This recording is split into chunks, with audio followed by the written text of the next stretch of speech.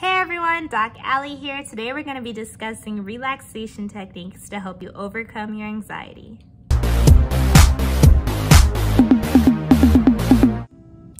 In full transparency with you guys, I was not sure I was actually going to record this episode or entry because I went through a hurricane week and I was in a very lazy mindset because of it and I just felt like, you know, I don't feel like doing anything. But then I watched church, my soul felt convicted, and I was basically told that I don't have a choice. So I'm here to help you guys today with how I overcame my anxiety during pre-test, test day, during the test, after the test, all of that. We're gonna discuss all of that today.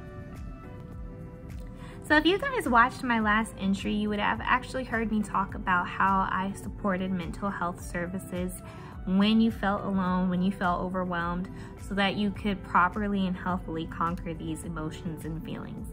And that is actually what I'm going to start with today because there was a episode where I did um, indeed use therapy because I really felt overwhelmed. I felt like I couldn't do it by myself anymore and I needed some guidance, I needed some help. And so I started going to therapy. Um, there were two things that my therapist taught me that I would like to teach you guys. So, one thing that my therapist taught me was a guided meditation routine. And what she basically said is you go to YouTube, you search guided meditation. There's options for spiritual people and there's options for non-spiritual people. Either way, they talk you through your thoughts. So you sit there, they tell you to do maybe like relax in Savasana or a dead man's pose. You breathe, you lower your tongue from the top of your mouth, and they take, take you through these things where they help you to like visualize yourself in a calm setting. They help you to visualize things that are gonna help you to not feel so stressed and overwhelmed or upset, whatever the feelings you may be having. And that was extremely helpful. Like I didn't know how helpful it was until I actually had to utilize it because there were moments when I was prepping for my exit exam and that anxiety, those horrible negative thoughts would just hit me and I would be ready to cry. And so I'd have to leave. I would study inside the school building. I would leave the school building. I would go outside and I would find a private place where I could do my guided meditations. And I would walk away feeling like I was walking on clouds. That's how amazing helpful it is. So guided meditation is definitely one thing she taught me. And another thing she taught me was journaling.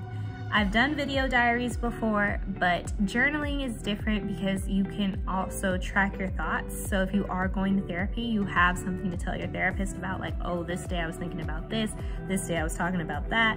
And then it just helps you to also just put your thoughts out, get them out. You can't talk to your therapist every day. You can't, you know, just always have that outlet, but if you journal, you do have that outlet daily. So those were two things that she taught me. The main thing you want to know is you don't use guided meditation and journaling only when you feel anxious. She says you basically use this as like a preventative medicine. So you're going to journal and you're going to do guided meditation as like a normal thing so that you can like bite off the feelings as they come. It's not like they all build up and then they overwhelm you. You're taking care of it one day at a time. Another thing, so it's not technically guided meditation, it's meditation in general. So meditation comes in various forms, both spiritual and non-spiritual people use it. And I was technically doing meditation before I even considered it meditation. So every morning I have this routine where I wake up. The first thing I do is I try to read my devotionals. I try to say a prayer. Sometimes I forget. Um, I had to meet with a prayer partner once a week. And yeah, so prayer technically is meditation. It helps you to come to a place of peace and focus on those things. Focus on that conversation, focus on whatever. So you're focused on one thing and you can help level out. That's all. So meditation in any form that you want to use it, use it because it is very helpful. And if it's like a regular part of your day, your week, then that also helps you to not hit those moments where you just feel overwhelmed and anxious and down. Another thing I would say is very important is having a test day routine. So with me, I have a nervous stomach.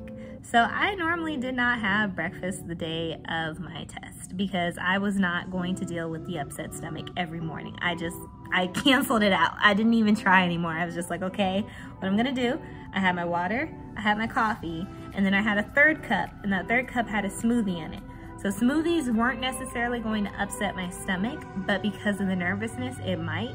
So what I would normally just do is wait until my stomach started to do a little growl, like I'm hungry, can you give me something? Sip a little smoothie and go back to my test. So that was one thing I noticed. If you have like allergies, if you have like certain things, like maybe you get a stress headache before the test, take your medicine before the test so that you're good.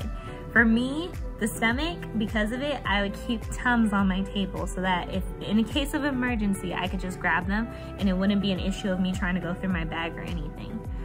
Um, what else? So that's that's test day. I, I suggest that you have a test day routine. It helps you to maintain regularity.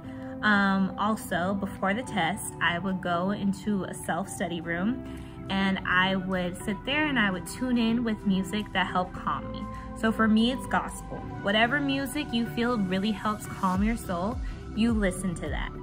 With me, while I was listening to my music, I was also reviewing information that I had decided the night before I would review the day of. I never went through new information. I never went through anything I hadn't already previously reviewed. I just stuck to strictly review material so that I wasn't trying to cram anything last minute. I was strictly reviewing. Please take note, strictly reviewing. Some people who can't, they don't want to. I know one girl, she literally says, I know what I know and I don't know what I don't know and she would leave it at that. She did not want to review before the exam. If you feel like even looking at anything would scare you or make you more anxious than you need to be, then don't touch anything, don't look at anything, just use that entire time before the exam to calm down. So for us, I think our school required that we be in the test room at least 20 minutes before the exam started because we had to go through all the protocol of them looking through our, making sure we had our scratch paper, that nothing was written on the scratch paper, our IDs, all that good stuff. So 20 minutes before the test in the test room. For me, I would get to school at least an hour before the test so that I would have those 40 minutes to do whatever it was for my test day routine. So making sure that you're there on time prevents any, not even on time, early, helps prevent any of that anxiety of, oh my gosh, I'm gonna be late, you know. so there was an instance when COVID became a thing on our island because when I first went to the island, the island was so strict, we had to stay in isolation for 15 days, test negative the day zero and day 15 of our isolation, and then they would let us out. And so there was no worry about COVID coming into the island. And the COVID that was on the island was already in isolation or quarantine. So the island had super well control over COVID. Unfortunately, there were rule breakers. Like they assumed that people were going to follow the rules. They scared us half to death. They were like, there's jail time if you break quarantine. So there was no way Allie was breaking quarantine, no matter how miserable it was. So, um, but there were people who decided that the rules were just there for no reason. They ended up spreading COVID like wildfire across the island. So I took maybe three or four semesters without ever having to wear a mask in class or in the exam room. And then during my fifth semester, I had to wear the mask for my exam. And so because this is a completely new experience, I didn't know that my body has a test day reaction. So either my nose will run or it'll get congested. I'll get a tickle in my throat and sometimes a cough. These are things I don't, I can't explain it, but my body does it, okay? And so I was having this reaction and now I have a mask on. And so I'm like congested with the mask on. So I'm trying to, I don't breathe through my mouth normally. So I was just like, I am not breathing. And so my brain's telling me, panic mode, we are not breathing right now. I'm literally about on the brink of having a panic attack in the middle of the exam. And that's where meditation came in because I was like praying, please, not right now. I can't afford this right now. Please please. And then finally, I leveled out. I was good. I was so afraid I was gonna run out of that room screaming and crying, but I didn't. And so I was able to take the test and everything was fine. So if you notice yourself starting to go into panic mode, bring yourself back, meditate. As you know, I have that bad habit of worrying about things. Um, I walked out of the step exam swearing I failed. I was such a negative Nancy. I had such horrible anxiety post-exam than I did pre-exam. And I only dealt with that anxiety for three days. But those three days were horrible. And I can't imagine if I actually carried that anxiety for two and a half whole weeks. Like it, there would have been no way. So I ended up going to church and that's what brought me down from all that anxiety. I just had to release it. And the sad thing is I normally do have like a prayer at the end of my exams where I say, I'm releasing it to you. I've done all that I can do. And then I would recite my favorite scripture. And so you guys need to do that where you say, I've done all that I can do and I'm leaving the rest to whoever or whatever you want to leave it to.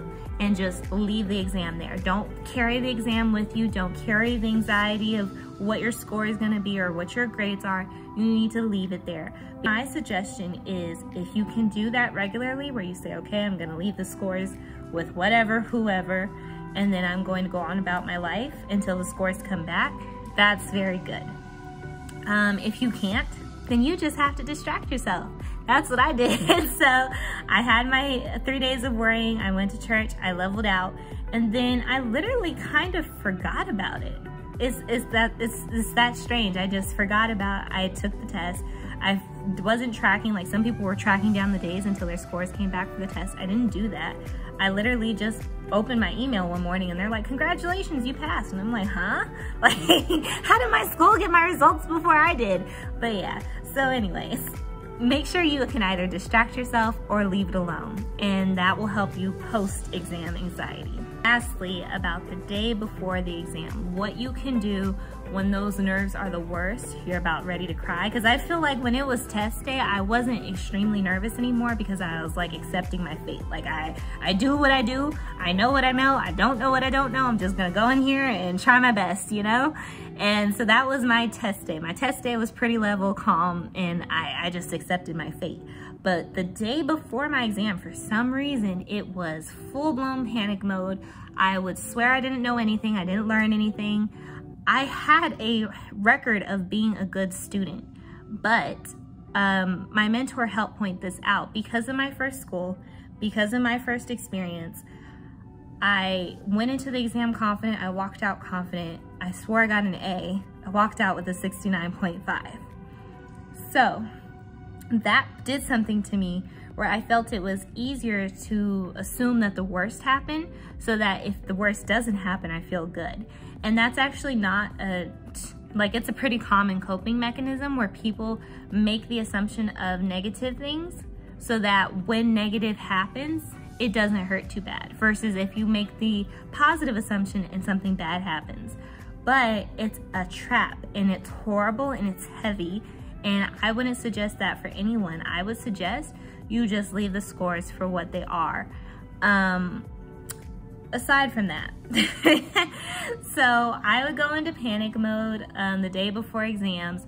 I would go through lecture slides and I'd be like, why don't I know those two sentences on that slide? Why don't I know this little detail right here? Oh my gosh, I'm going to fail. And if you see yourself going into doomsday panic mode because you don't know simple things, like that's, the whole exam is not gonna be those two little things that you don't know. And if you don't know everything, you're normal. If you don't, if you think that you have to know everything to pass or get an A on an exam, you're wrong. So just stay in the mindset that if you've prepared properly, then just leave it at that. Don't go into panic mode. Don't go into assuming the worst.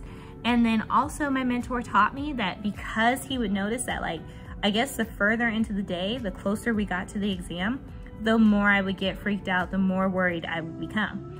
So he taught me 12 or 2 o'clock the day before the test, you've prepared all that long, three weeks, two weeks, whatever it was before the test, 12, 2 o'clock, call it quits. Close the books, go relax, go do something, get your mind together so you could be ready for test day. And that was one of the most helpful things he ever taught me to do because it really did help me bring myself down versus if I kept trying to study until my bedtime, then I'm panicked. And So there's breathing exercises you can do. There's yoga poses you can do if you can go off into like a study room or the library and no one will see you doing something weird. There's so many ways for you to make sure that you are in a good mindset when it comes down to tests. And that's what you need to do. You need to practice. I even started doing the Wonder Woman pose in the mirror and the pep talks in the mirror during the step exam on my breaks. I would go to the bathroom and be like, you've got this. Keep your mind together. Don't start thinking negatively. Come on, you've done so well. You've prepped for so long. You're gonna finish this test and you're gonna be so proud that you did. And that's what you need to do. Just hype yourself up. Be your own hype man. Stop being your biggest enemy. Stop doubting yourself so much. You have made it into med school for a reason. You have made it through med school for a reason. Just do it. Just do it. Nike don't sue me, but just do it, okay? Let's journey to becoming MD together. Until next time, guys.